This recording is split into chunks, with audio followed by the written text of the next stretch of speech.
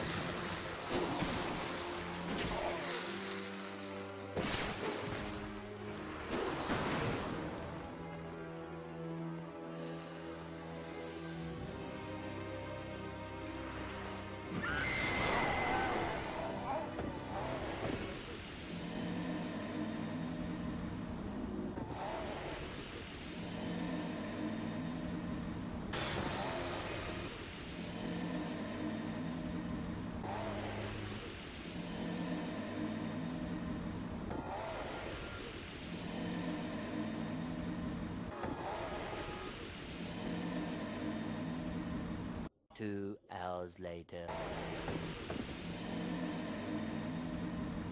No! God! No! God, please, no! No! No! No! So right here I decided I was going to go get the um, the soul vessel and respec.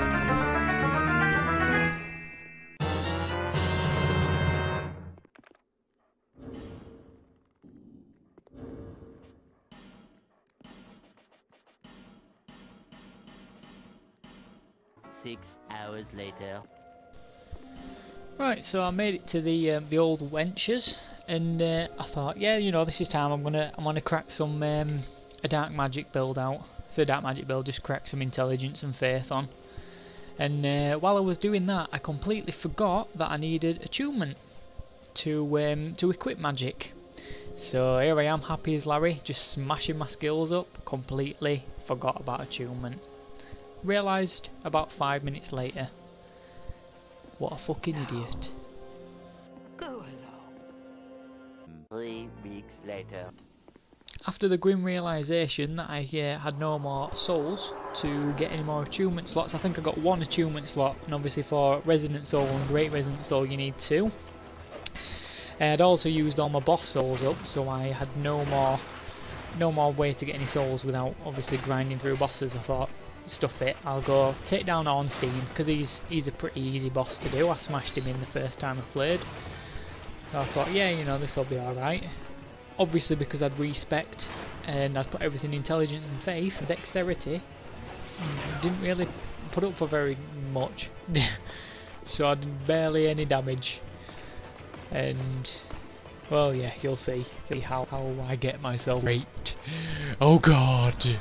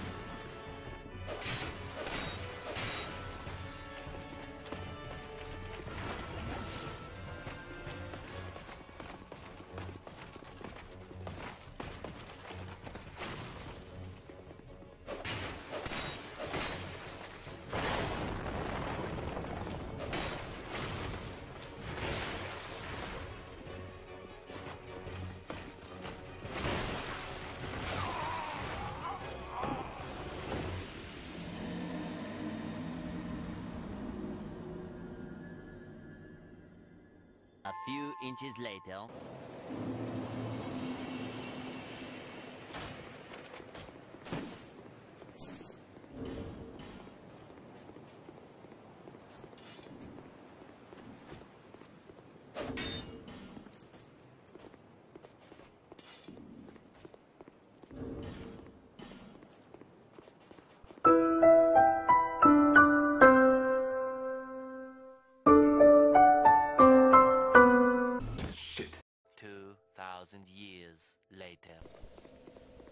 So here I was back again for preparing for the final battle against Mytha again. As soon as I'd now managed to get myself, I'd, I'd got um no not at this point. I didn't have two attunement slots. So I was still on the one, but I'd bought myself Dark Orb.